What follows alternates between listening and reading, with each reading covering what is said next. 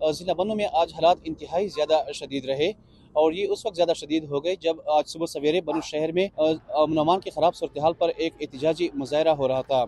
یہ احتجاجی مظاہرہ بنو کی سیاسی، سماجی اور تاجری تنظیموں کی طرف سے ہو رہا تھا اور صبح سویرے اس میں ہزاروں کی تعداد میں لوگ شرکت کر رہے تھے اور جب جگہ کم پڑ گئی تو انہوں نے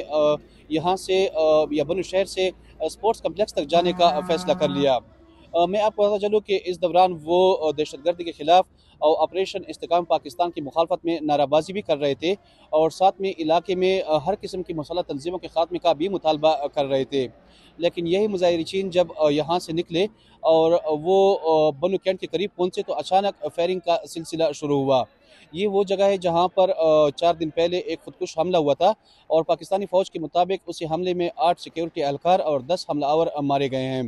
میں آپ کو یہ بتاتا چلوں کہ اس کا الزام مظاہرچین پاکستان سیکورٹی فورسز پر لگا رہے ہیں۔ تاہم ابھی تر حکومتی سطح پر یا پاکستان فوج پر کی جانب سے کوئی بیان جاری نہیں کیا گیا ہے کہ یہ حملہ یا یہ فائرنگ کس کی جانب سے کی گئی ہے۔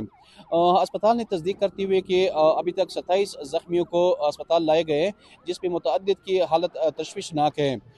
ہسپتال نے یہ بھی بتا دیا کہ زخمیوں میں صوبائی وزیر پشتون یار بھی شامل ہیں، لیکن ان کا حالت، ان کی حالت خطرے سے باہر ہے۔ میں آپ کو بتا چلوں کہ صوبے کے صوبائی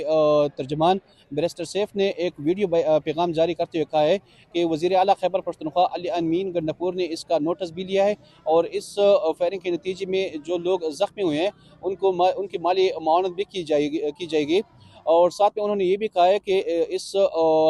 فیرنگ کی یا اس واقعے میں جو لوگ ملوث ہیں، اس کو سخت سے سخت سزائیں بھی دی جائیں گی۔